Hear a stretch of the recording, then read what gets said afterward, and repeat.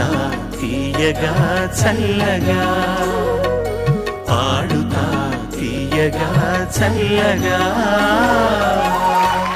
Voice of తూర్పు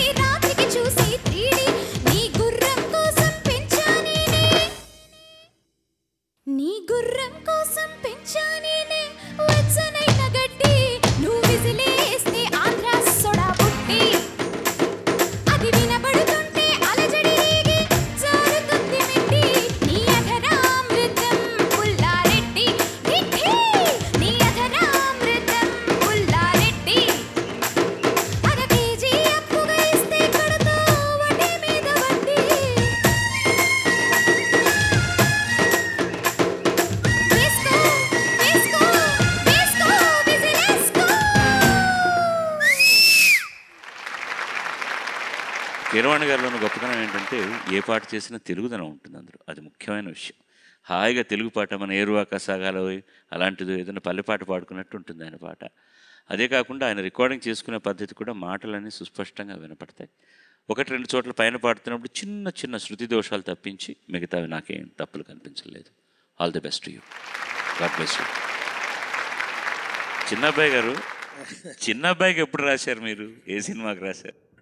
ఆది ఆది ఆది కేశవరెడ్డి. నేను వినాయక్కి మా ఇంట్లోనే రీడింగ్ ఇచ్చా. అప్పుడు మా రెండో అమ్మాయి విందయ్యా ఆ రీడింగ్ ఆది డైలాగ్ రీడింగ్. వినాయక్ థ్యాంక్స్ గురుగారు అని ఆ క్యాసెట్ తీసుకుని వెళ్ళిపోయాడు. మా అమ్మాయి అడిగింది ఇదేంటి బాలకృష్ణకు రాసినట్టు రాశారని చిన్నపిల్లాడు కదా అని. బాలకృష్ణ అయినా ఎన్టీఆర్ అయినా ఆ ఇమేజ్ ఆయనదే ఆయన స్థాయిలోనే చూస్తారు రేపు చూడు అని. అమ్మ తోడు అడ్డంగా నరికేస్తా కానీ అలాగే వెళ్ళేశారు. అలాగే ఒక చిన్న వాయిస్ చేంజ్ చేసి చెప్తాడు. తారక్ అక్కడ అతని మీదకి వచ్చి విలన్ మీదకి వచ్చి ఏయ్ చిన్న ఫాల్స్ వాయిస్తో దాన్ని స్వీకరిస్తారా లేదని కూడా భయం కొంతమందికి చిన్నపిల్లాడు కదా. కానీ చూశారు కదా రికార్డులు తిరగ రాసేసింది. కాబట్టి ఆదికేశ్వరుడు అంటే స్టూడెంట్ నెంబర్ వన్లో రాఘవేంద్రరావు అడిగితే అన్నయ్య వెళ్ళి ఏదో క్లైమాక్స్లో కూర్చుని హెల్ప్ చేశాడు. అది కార్డ్ మీద పేరు లేదు. మన ప్రారంభం ఆది పిల్లాడితో మొదలైంది అది అప్పటి నుంచే పెదనాన్న ఆది నుంచి. ఆది. అతను పెదనాన్న అని పిలుస్తాడు. అరవకు అమ్మ తోడు అట్టంగా నరికేస్తా. చెప్పేది విను.